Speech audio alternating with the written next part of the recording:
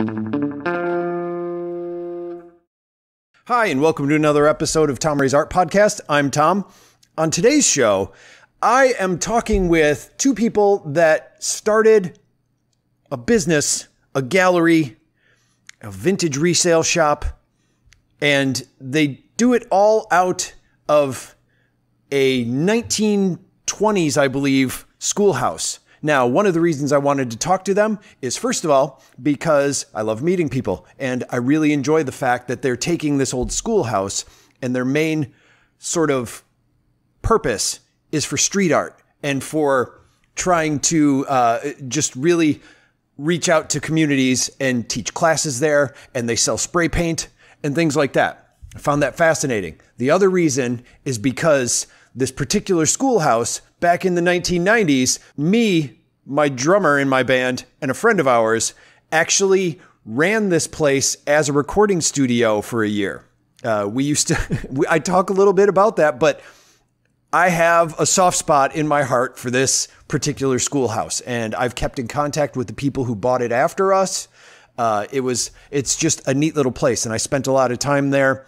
Uh, and it's it was a it was a neat moment in my life. I don't know why I keep saying neat, like I'm like I'm a teacher, like I'm some sort of grade school teacher. It was nifty, but uh, it was it was a great place. It's a four. It's like the kind of schoolhouse you would see on Little House on the Prairie, where it was separated into four rooms, and all the classes were of all different ages, or at least that was what I was told. The history behind it was, but it's a great place. It's out by the airport, out in the field between uh, Sun Prairie and the airport, the Madison airport. So I was really excited to talk to them and to find out what they're doing with the place. It is a fun interview. They are a a, a nice crazy bunch uh, of people running this place. So we have a really fun conversation. So here it is, my interview with Pumpkin Hollow Art Gallery starting right now.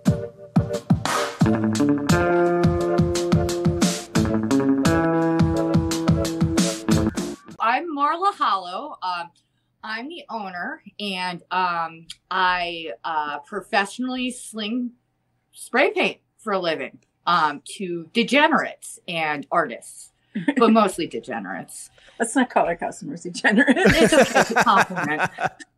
um, and I'm Valerie Walasek. I'm the vice president of operations, operations manager. I do all the tedious, non-artistic stuff around here. She makes sure the IRS doesn't come after Right. us. Yes. Somebody Yep. has to pay the taxes. I know. I know Yeah. that goes. Yeah. Um, so first of all, are you both from Madison? Where are you guys from? Yeah, I'm from Madison. Okay. Born in Columbus. Lived here. All right. Oh, oh. Um, I, I'm from New York originally. Okay. Um, I I was um, born outside of Queens, kind of like on the border of Queens and Long Island, right there. So, Really? Yeah. Wh- And Yeah. when did you when did you come here? Uh, seven years ago. Um, Why? I've uh, I kind of landed here. I, I landed here basically. Like, um, I left New York in my twenties because I was like, "Yo, fuck this bullshit. It's too expensive. Bye." And I went to Colorado, and I actually had another street art gallery in Colorado. Um, because I used to I used to sell like art on the streets and like just do all sorts of wacky shit. Like we would just like go into like dumpsters and like like pull out like garbage and then like make like art out of it and then go and sell it to the yuppies that threw it away in the first place. Yeah. And then like a bunch of us congregated together because we were all selling artwork on the streets, right? And like, eh, and and then we rented this house. So then we put all of our artwork in the house and we would throw like big parties and stuff. And it was great. It was so awesome. Yeah. Um, and then um, yeah, lived there for a bunch of years. Uh, you know, did like the normal like like fucking like arc of fucking life thing where it was like, oh, I settled down, got married, and hey, that didn't really work out too great. So, you know, but I got two kids now, and they're pretty dope. Okay. Um, How old are the kids? uh, I have a 13 year old boy and I have a nine year old girl. And Gotcha. Okay. Actually, uh, my son works in the shop with us. He grew up Nice. um, on on the graffiti walls and all around the graffiti stuff. Um, and of course, so did my daughter. Um, but yeah, uh, when we went to get a divorce, my ex husband had family that lived out here. And he was like, okay, well, Ah. I want to go to Wisconsin because I have my family. And I was like, well, I don't have anyone. I don't need anyone. So let's fucking run. Right. And so we got divorced and fucking I got the kids because, you know, it's whatever. It's great. You know, I'd rather have them. But uh, Wisconsin is dope. Like this You place think is so? really great. Oh, yeah. I love it here. It's I've been here my whole life, so I'm always just like, why did you come here? There's so many more fascinating places to go. Uh, no, bro, this place is the shit. You Okay. can do whatever you want, and like, Well, I mean, uh, it's. I mean, I, I like. That's cool. It, it it is a good place. is. Like Yeah. I I didn't realize that until I moved away.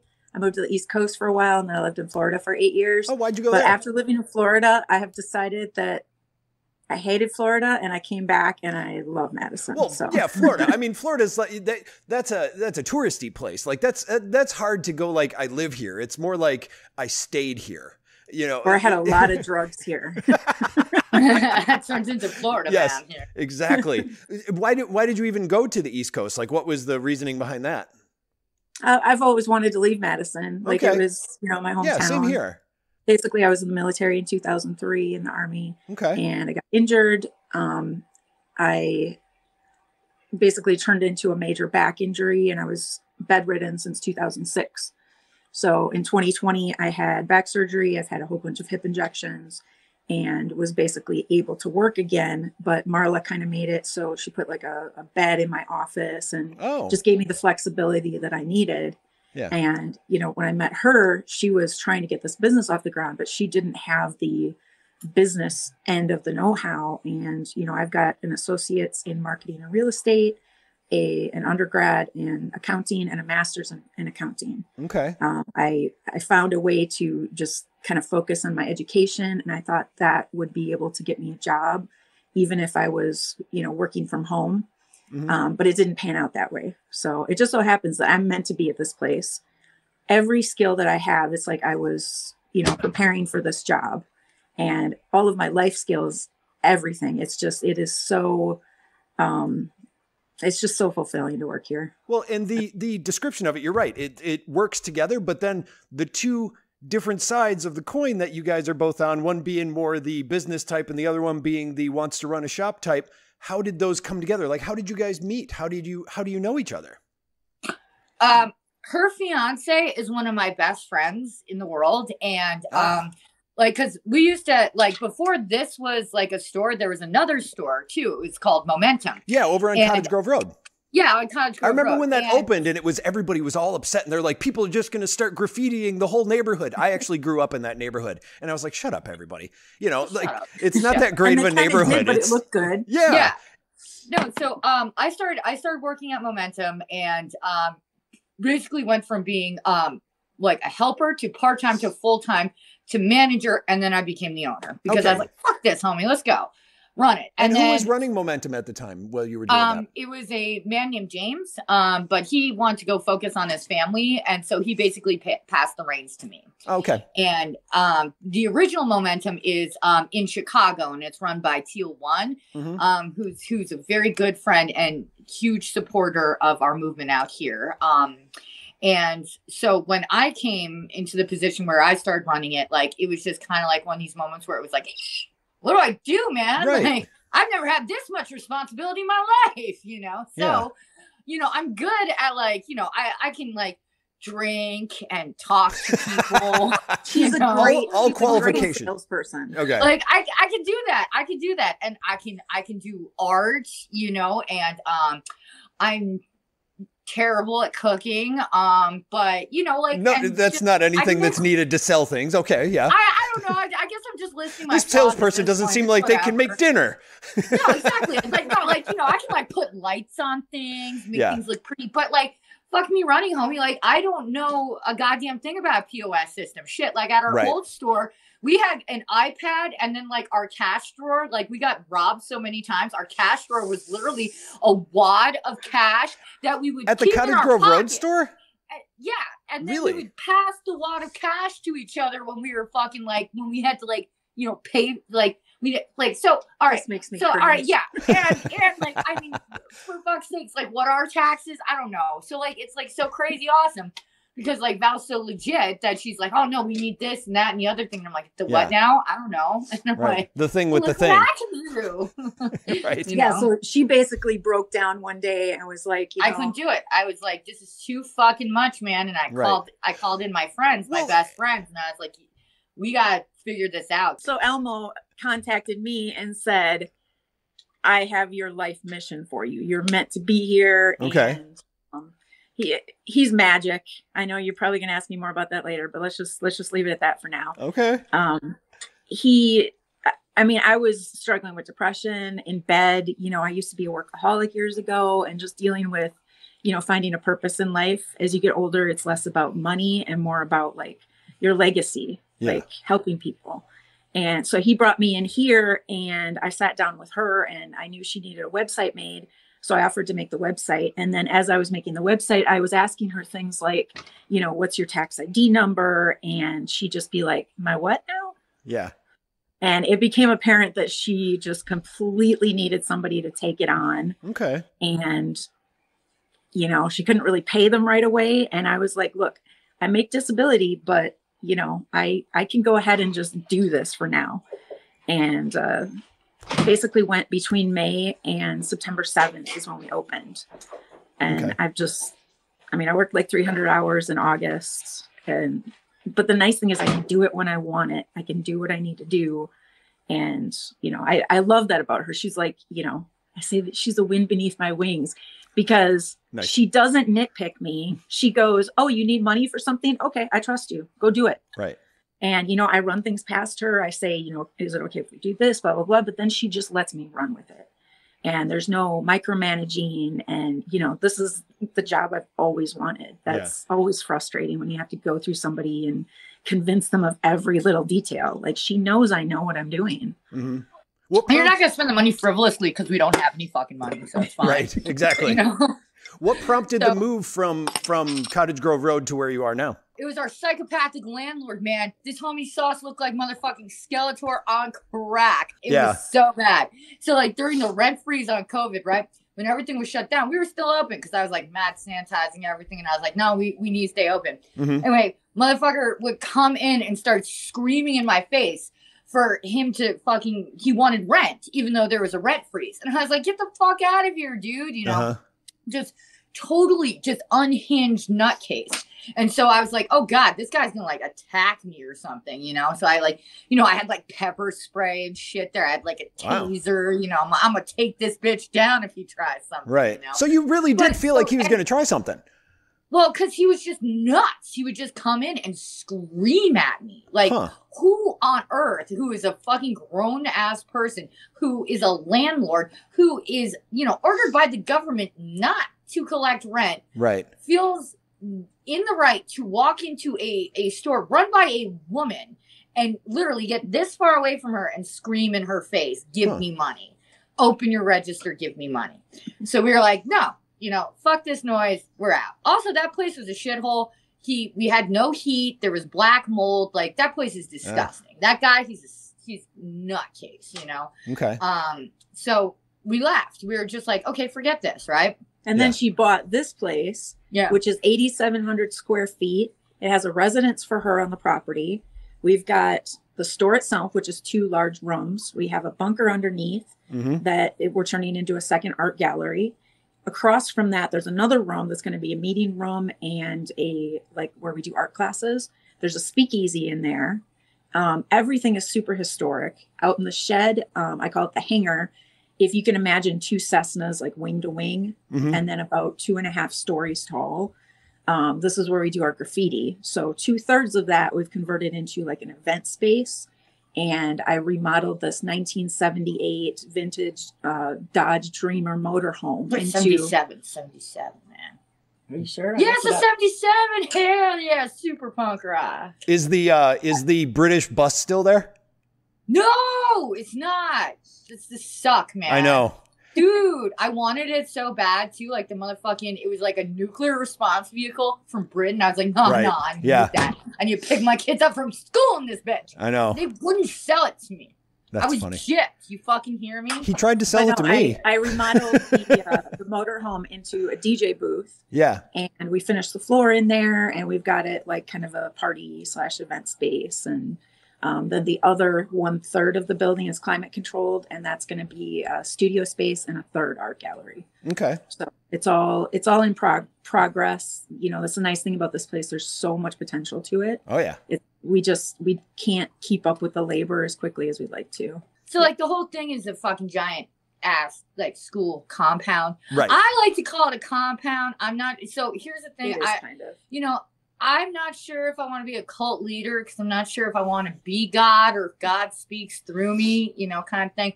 I feel like taxes would be easier, Val, if we just declared ourselves a religion. Right. No, we should do it. It'll be great. The- This is like you- one of those boxes the- I'm gonna check. Count the acreage as a sovereign nation. Bro, it is a sovereign nation. I have a fucking fence out front with spikes on it. Hell yeah. Right. Yeah. Well, So so basically, the property is a, a schoolhouse from 1859. It was Pumpkin Hollow School, built in 1859. Mhm. At one point, they they ripped it down and redid it into a brick building. Um, And then just added on to it. yeah. So in the 50s, they Yeah. redid. They added the two classrooms and then the bunker and the shed and all the other stuff. So Look, the she shed- the lives shed in. is from the 90s, I think. 'Cause- is it? Yeah, because that's that was So she lives in the original schoolhouse, which yeah, is the upstairs was done in the nineties. Yeah, yeah, yeah, exactly. Yeah, we live over there, and then this this right here was it was from the seventies. So we eh, it was the first grade and second grade classroom, which is the store, and then and then the bunker was in the sixties during the Cold War. Well, this edition here was built in the 50s. This one That's is what the the deeds say. fifties. Oh fuck. Okay, I don't know. I- I- time is an illusion. The only time now is party time. She doesn't know paperwork. I don't Right. do She paperwork. just remembers. No, Fuck and- that. Let's But yeah, we, we've got the ladies down at Burke Lutheran Church that have come down here and told us a lot about the history. And, you know, the cemetery down there, a lot of the students here um, went there. So, like, Yeah. Marla goes and puts flowers on their grave. I'm a you know. creepy little motherfucker. I'm all sorts of We're, we're and Halloween all year round. Right. you shit. know. There is Halloween. Yeah, the name is the name is what is the kicker. And I think I mentioned to you guys in the email when I contacted you. Um, I used to run that place as a recording studio I, in in the mid '90s. So I used to work at. Uh, I was the booking agent at uh, Paramount Music Hall, which was R and R station. Um, it's not there anymore. It's a bridge. And my drummer, he is he was the sound man, and we worked for a company that was based in Sun Prairie called Naughty Knottywood? I don't know. But he bought it from, there used to be a landlord that owned that place. And he was much like the landlord you were talking about. He was a slumlord. He used to, uh, he was trying to sell the place and he basically let us go in there for cheaper rent if we would fix the place up. Uh, we used to live in the basement part. There's a little room that was kind of like a locker room. That's where the gymnasium was. And we used to live in there. There was no heat. So we had to have small rooms that were filled with propane heating tanks. And we were there in the winter. Um, we had all our recording equipment in there. We recorded a bunch of bands in that place. And then the landlord locked us out one day. And all of our Mhm. equipment was in there. And he was just like, You need to pay me more rent. And it's like, We paid you the rent that you said to pay. And he was like, No, I mean, we literally had the guy arrested and filed a suit against him. But then we Wow. got kicked out. And then that's when uh, Kim's Sewing came in and they took it over and built the second story and the, the garage that's out there. And like, there was no second story. And the separation, like when you walk in the hallway and there's the steps that go up, Yeah. there was a divider wall in the room that you walked into, and he tore part of that down and made it so that you could walk through to the other side. So it used to be four rooms altogether. And you guys are offering uh, classes at the place there now too. So how's uh, was that something you did at the previous place where you were teaching art classes and stuff? Uh, so I we used to do um graffiti classes, yes, and um I did I did used to teach it. Um, Okay. and it's a lot of fun. But we're gonna we have reformatted how we're gonna do things because previously it was just kind of more free for all kind of thing. Uh-huh. Now it's more structured, where in which when somebody wants to take a class, um, I only do uh either individual one on one or up to four people. Why is that? That's it. Um, because you really need help because um, you know, freaking give me this shit right here. Okay, so like, look, everyone who like starts off with the spray paint camp, everything you see in a movie, all the Bart Simpson, you know, be like, you paint like this, man. Okay, no, Right. no, you don't. Oh, no, you don't. So I got to start off with people, and I got to teach them you know, because there's differences between the spray paints. Some of it's high pressure, some of it's low pressure, some of it's matte, some of it's glossy. Uh-huh. And, you know, all these little things on top make a difference, you know, and then how to hold it, how to do it, and all that other stuff. Yeah. Once you get a hang of that, it's called can control, then you can do pretty much anything. Yeah. So what we do here is um, somebody's going to send us a um, a uh, design. We're going to project it on the wall and trace it out for them first. Then Oh. I'm going to sit there with them and Nice. then teach them how to paint it. Yep. And then you like get that. down the good skills. You make something really beautiful that's super super awesome. You're super proud of it, and then you come back again next time and do it by yourself. Okay. And Yeah. you uh, al- And we will have other classes too. I was I'm just going to say, I saw a watercolor one too. Yeah, Yeah, well, I'm trying to convince her to do classes in acrylics I don't want to. and in sewing Nope. eventually. Um, it. But we do have another teacher that she's not teaching yet. We're still in talks with her, um, but she lives right down the road and she's going to be teaching watercolors. Um, so we'll be carrying watercolor stuff eventually too. We're kind of trying to expand like into all kinds of art supply. Yeah. Okay. And like that's just the thing is I feel like yeah I could teach these classes but I'm way better at something else you know what I mean I'd hate to like sit there and just be like "Grr, grr, let's paint a tree but like you know like I can't just like sit still and like teach a bunch of people how to sew like I sew but I do like chaotic bullshit and mm-hmm. like you know just like make weird crazy crap that works out for me it's probably not gonna work out for like Bobby over here, you know, he's gonna sew his finger to a piece of something, and I'm just not gonna. I don't know, but we wanna we wanna like open that up to like other teachers. Yeah. Sorry, Val, probably not the best place to bring this up. So we are she won't divorce me for- if I say it in front of someone else. we are looking for teachers. We're also looking for for um, more artists, consignment artists. Oh yeah, We take um, consignment stuff. We don't charge. Uh, if we sell something, we we take twenty percent of what we we sell. Uh, most galleries will take like sixty percent. yep, so yep. you know we've got a lot of room here for art. We're Um, we're alternative as heck because Yeah. all downtown, like every every art gallery, they're gonna take sixty percent. They're gonna, you know, it you know, give you X number of months. They're gonna charge you for wall space. Like that's not what we're doing here. We're here to support the artists. Mhm. So you hang your stuff here, you know, we rotate it, you know, we take care of it. And if it sells, you get the 80%, we get the 20%. And then, you know, come buy some spray paint, homie. You know, like Right.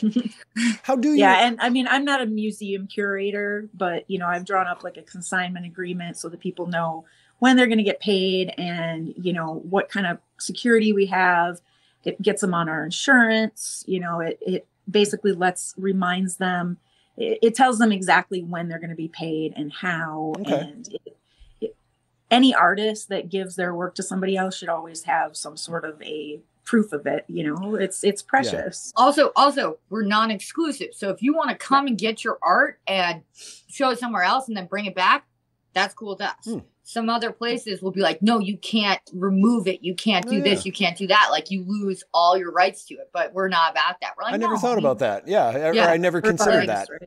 Like Okay. our our main thing is to support the artists and the community of artists and our local community too, because we have local people that have come in, been like, "Yo, I've been painting for X amount of years. I've never shown my art before, and uh, you guys are the first people." And we're like, "Heck yeah!" You know, just it's all good, you know, because it's not just about graffiti or graffiti art or you know, like whatever. um you know, like pop art or whatever it is. It's like we want all forms of art from all people and just like, you know, it's all good, man. Like, you know, just come in, hang out. We all freaks here, you know? Right. Like it's good. How do you reach out to the the artists in the community? Or how do you find people? Like how how do you? Okay, well, this is mostly my way. job. So Okay. um, I am constantly on Facebook looking for artist groups, um, talking to people. People contact me on the website. Um, we're trying to do, you know, marketing. Um, we're just putting we're putting out Valpak commercial or uh, not commercials, um, Valpak coupons in December.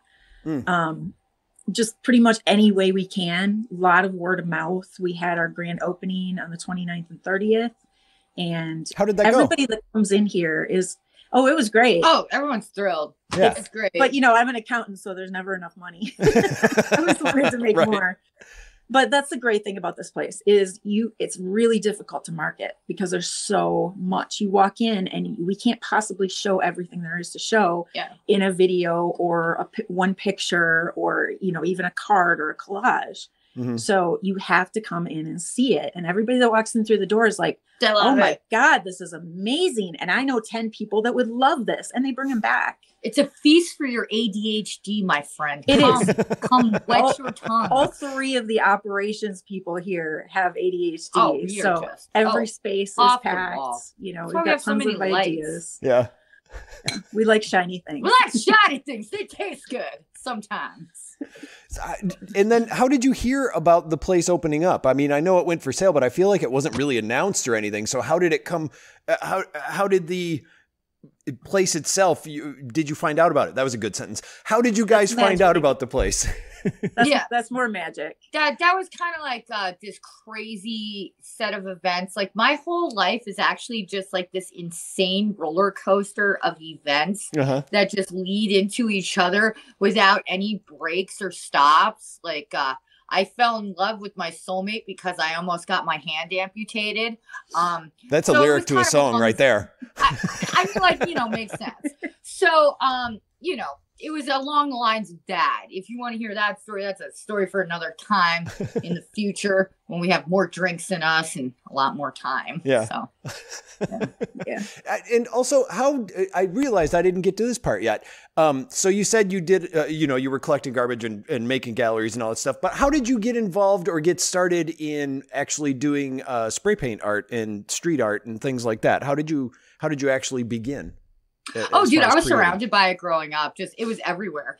And like my favorite thing was making stencils though, because you could go a lot faster with a Oh, yeah. stencil. Like Yeah. fucking get your thing up and then go make a stencil, go, and you could repeat it so many times. Mhm. So that was my favorite thing because you would just throw that shit in a backpack. And I'm a hate to say it like this, but I'm a little white girl that doesn't look like that much of a bad person, so I could get away with a lot of stuff Right. you know, and I took advantage of that. Hell yes, I did. and uh, you know, as you go on and you go forward, like you just meet more people in the culture because they recognize you and they're like, "You're that fucking bag of shit." And it's like, Haha, yes, so are you. Were- You know, so like that's how it goes. It's like a natural evolution. You were know, you over time. influenced by some like what are some of the influences that you had while you were doing that or was it just like there, i know there's always something where it's like oh i'm going to do that too or like i like this person's style i'm going to try and learn from that and then of course you eventually grow into your own thing but No, well, like, you know, what happened with me is like, you know, I was surrounded by it at all times. I think I did like my first graffiti when I was like eight years old. And I What like got it? a fucking like giant ass marker and like on the school bus wrote my own damn name. okay You know, not not any nickname, but my own damn name on the back Smart. of the school bus thing, like over and over again. And they're like, they're like who possibly could have done like, this No, no, that wasn't me. And it's like, but it says Marla. It says Marla was here. And it's like, I don't know what to tell you. And it man, has you your know? address and your phone number our on own it. bathroom in our store Yeah. Yeah. I that's just, how bad she is I It's- just like it's, just com- everywhere, just like ba ba ba. it's a ba, ba, ba. compulsion It is. It's a compulsion, and like, and I've just done it forever. It's like, you know, as as time wears on, it's like, yeah, you know, there are lots of people, and I've seen lots of people. I've seen tons of art. Like, uh, one of my favorite graffiti artists of all time is Claw Money. She is fucking amazing. Like, she is so great. Uh, you know, Lady K. Like, um, all all these like amazing women. You know, I love them so much. Uh, but it's just like, you know, you're just out here fucking just doing your own thing. Like the whole thing with graffiti is it's you're leaving your mark. You know, it's you. You know, it's like this is a chunk of me. Like I was here. Haha, fuck you.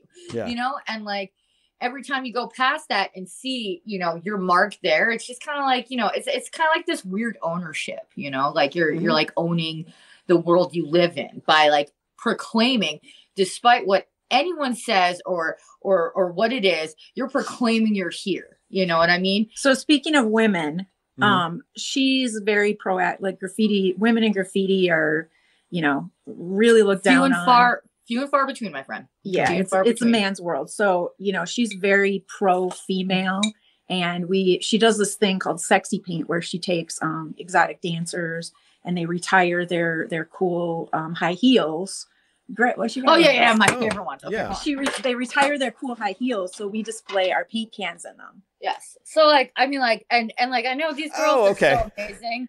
they're like, these shoes made me so much money. And I'm like, yes. yes, but this one has a gun. It's Oh, a nice. gun. I like that. Isn't that a good That's one? awesome. And like, so I have like I have a whole crazy amount of amazing shoes, and then Yeah. and then I have this collection of vintage cameras too. So we have the shoes, the spray paint, and then the vintage cameras all put together, and Okay. it's the only cans display. Yeah. I saw the that. I was trying to figure out only- the. You guys said you have an only can page on your on your website, but is what is that? Where is that? Not yet. Okay. The We're idea, working on it. yeah, the idea is it's going to be only fans, but That's what I um, thought. I was like, is that what they're playing a riff on? Yeah. Okay. Well, you you'll basically be able to subscribe to this channel to see behind the scenes like graffiti artists and things like that because evidently you cannot just come and watch graffiti artists because that's considered an outdoor event and you need a permit Uh, and all yeah. kinds of things. Okay. Bureaucracy. If you want to see it, you can, you know, subscribe to our channel. And like I said, we we haven't gotten this up yet. We're really kind of looking for a videographer. Okay. um like i said it's just it's just us so any anything that we can't do with our talents we're, is kind of on the back burner right now so Gotcha. Okay. Yeah, I was confused by that because I saw that you had written it in there, but I'm like, but where is it? And I even tried to do a search, and I was like, I'm not finding it anywhere. We're gonna was we're gonna get it there soon. Okay, soon. no, that's good. No, okay, good to know. I, I'm glad. I'm glad that uh, I was. I remembered to ask that because I was. I was uh, hoping that it wasn't just like uh, I some. I was hoping it wasn't something that where I was just like, am I that out of touch that I don't know what this is and I can't find it? But I get. You haven't done it yet, so okay, good. It's not. It's not just me being an idiot. you good. It's us. Okay. And uh, so with the, uh, you have uh, some studio spaces there uh, that you're renting not out. yet. Not yet. Okay. So what, what are the plans for the studio spaces? Um well the plan is it's going to be one third of our shed and we'll be able to rent Which is a out huge shed, by the way. it's enormous Yeah. I, I actually That's call it the fine. hangar That's why I need a cult, man. I need fucking minions to do this work for me, man.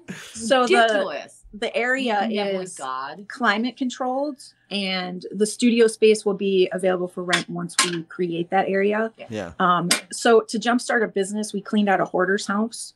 So a lot of the vintage stuff that we have um, has come from there. So we cleaned right it now- good. We cleaned it good. Don't get freaked out. It's not all covered in cat shit. Yeah, okay? e- everything gets cleaned before it comes in the store. But we have a lot of really cool stuff, a lot of great inventory. It really helped our business. a lot of scary But shit too. that man. area is where everything is stored right Yeah. now. So all of the other areas are going to be done before that. Yeah. Studio space is probably not going to be done until after like next summer It- at it's- least. It's it is fucking hell on earth. I Yeah. found a box of human teeth. Get out of here with that. It was a terrible. I've been to a few Yeah. hoarder houses. we got a lot of good inventory. the stuff behind me that's that's what I, I basically every weekend i go to estate sales and houses like that where and buy stuff and sell it online so yeah i'm, I'm familiar with hoarder houses they're fun but they're also it's just like there's Terrifying. there's no dog here or cat here but why is everything covered in cat piss you know Yeah. like, Mhm. like oh, amen to that, my friend. yeah Or uh, you open up a box that's marked dishes and you find a whip that's also a dildo. Oh, that was Love that. Well, Touch that's that just- with my fucking bare hands. By Yeah. she says A, but we found at least three of those. three. you need a Yeah. backup you know oh, like Oh, man, if one breaks what are you gonna do then you're stuck Oh yeah, I, I actually have a list. It's called the no list, and I posted this on on the Instagram. It is the shit that I don't want in the store. So you know, like stuff like, hey, I don't want your dead fucking cat. I don't want you know your jars of piss, your human fucking teeth. Yeah. so you So plan you plan on clean having out. that stuff stuff ready you're saying in within the next year is what the plan is Yeah, probably around next summer because Okay. like it's cold now. I don't want to go sitting there and dig through all that stuff. You know. Yeah, the idea is to basically um, the the second art gallery downstairs is almost ready. I just have to paint. Um, we also have to figure out something for uh, accessibility. Mhm. Um, we Oh, have yeah. stairwell that is way too narrow. Mhm. Um, we can't put a lift on it. So what we're thinking about doing, I need to get a contractor out here to give us an estimate for like digging a trench down in front of the building. Oh. We've got like a big window well and maybe putting a door in. But even if we decided to start that today, concrete would have to be poured. So it couldn't be done until next spring. Right. Um, so for now, we do have a space out in the shed that we can do art classes. Um, but it's, it's cold. yeah. I need Yeah. to I need to put heaters in there. But even if And you do I'm have trying to heaters, they have drywall. insulation. Yeah. I'm trying to drywall, but I'm having trouble finding um, like a drywall contractor. I've been looking since September, Hmm. and everybody's just has a shortage of labor. So as soon as we can get a drywall contractor, that'll be warm enough, and we can do that for events. Um, just minor things. I need to finish the floor. Yeah. you know stuff like that. Yeah, so I mean, like, like we're gonna have all this stuff. Like, we're here for the next thirty years, and when I die, she's coming with me. Uh, we're gonna haunt these halls together. So, um, you know, so it's like, yeah, this is just the beginning. It's the first couple months, and people are like, "Oh, where's the studio space? Where's this? Where's that?" Homie, just sit down. Mhm. Okay, we're gonna Yeah, be here for 30, 30, 40 years, and then my kids are gonna take over, and then when we're dead, we're gonna haunt their asses. It's gonna Yeah. be great. Just be patient. I mean, it's people. basically me and her doing the stuff, yeah. and she's got kids. She Yeah. has to be a mom too. Yeah. So, and I'm disabled, so it's limited to you know time and my body's ability. And But just- we're working as fast as we can, and we really barely been there a month. I'm not expecting more from you by now. Yeah. I think you're doing perfectly fine, to tell you the truth. Uh, Yeah. Yeah. No, you've done a lot there. Uh, What would you say now that you've been? Because it has only been not even a month, two months. Okay, I thought. Almost two months. Okay, uh, so I, now we opened you- September seventh. Okay, for some reason I was thinking that it was in October, but yeah, you're right. It The was- grand we did the grand opening October 29th. Ah, that's why I'm making that. Um, Okay, I got you. but I wanted to have a little bit of time to get flyers out so people would know who we were. Yeah. okay, So it's And- it's all in the marketing plan, man. okay. And then I just had two more things I wanted to ask you. One, what would you say is so far being there the most difficult thing about opening and running this place? Getting the word out. I mean, just basic. We're here. We're awesome. Come in, type Yeah. of thing. That's a good message Um, right there. You know? Yeah. Okay. But once people stop in, they're hooked. You know, they love the place. Yeah. And we keep telling them, like, look, we got a ton of vintage stuff in that shed. We rotate our stuff out all the time. Come back. We rotate our art. Come back. Um, you know, we've got a lot of affordable art by a lot of really great artists, all kinds of different things, not just graffiti stuff. We've got Yeah. one 73 year old little guy that does like things that look like Monet's Nice. and he's just like amazing. There's all kinds of different artists here. So if you're looking for good local art, like this is a place to be. Okay. And if And, people you know, some of these people would never get into a normal art gallery because they'd never try. and also the normal art gallery would rip them off. So Yeah. that's why we're all weird and alternative. and if people Yeah. wanted to find out more about uh, the place or if they wanted to contact you, where would the where would you suggest that they go to do that? Pumpkinhollowart.com. We also have our Instagram pages on there. Um, there's a connect to our email. Our phone number is 608 405 5121. And there's also a link to that there. Um, there is another alternative website that um, one of our marketing companies put out called graffitiartmadison.com. Oh, And there's another phone number on there. So these are all ways to get a hold of us. or you could come in and bring me Topo Chico, okay? Not the pineapple one though, because I'm allergic and my tongue will swell up. Okay? do they have real Remember that. pineapple in it? I- no, I don't think so, but psychosomatically it happens anyway. Gotcha. Because I was going to say I couldn't see them ones I actually like you know juicing a pineapple to put in there. It's got to be uh, you know. No, it's Oh. it's definitely fake, but I'm like, uh oh, I'm gonna die now. Gotcha. I'm the same way with bananas. So oh, hell yeah, allergic fruit gang. well, I want to thank you so much for uh, talking with me today. It was great meeting both of you. yeah, Yeah, it was you so too, Tom. awesome, man.